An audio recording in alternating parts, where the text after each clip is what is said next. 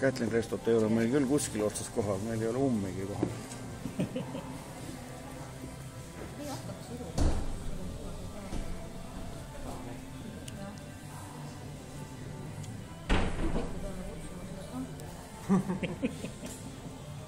viimased sõidavad, viimased, sõidavad siinsamas.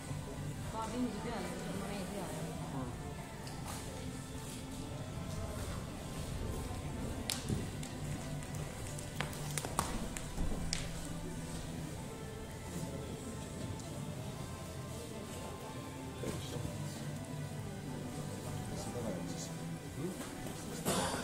Viimane.